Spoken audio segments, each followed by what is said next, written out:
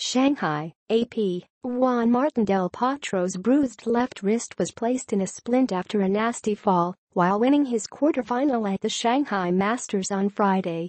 Del Potro is due to play Roger Federer in the semifinals on Saturday.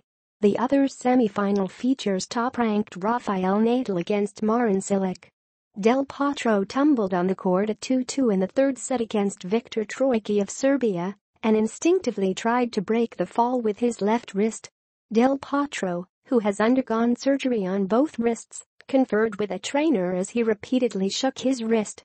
Del Potro ended up breaking Troicki's serve in that fifth game and prevailed 4-6, 6-1, 6-4. I don't know how my wrist is after I fell down, Del Potro said, before leaving for our local hospital. I felt something wrong in that moment, but I continued to play, just playing, backhand, slices just to finish the match. I'm going to the hospital to see what the MRI says and what the doctor says. Then I will take a decision for tomorrow. I would like to play and be 100%. Jorge Viale, Del Potro's agent, later tweeted that tests revealed a wrist contusion, but more serious problems were ruled out. The doctors put a splint to immobilize the wrist, Viale added. Tomorrow morning, Juan Martin will decide whether he plays the semifinal. Del Potro beat Federer in the US Open quarterfinals. Federer made another matchup by beating Richard Gasquet 7-5, 6-4. I hope for him, Del Potro, that it's nothing serious, Federer said. He's had problems in the past, and this is why he's worried, rightfully so.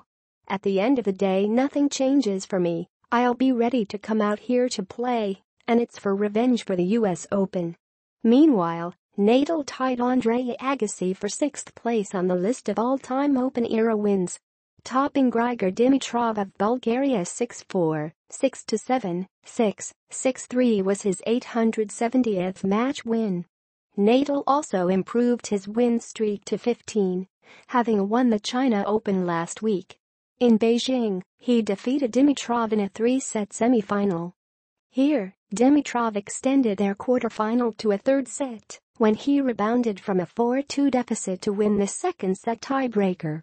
In the third set, Nadal saved the one break point he faced in the match in the fifth game and broke serve in the sixth to set up victory.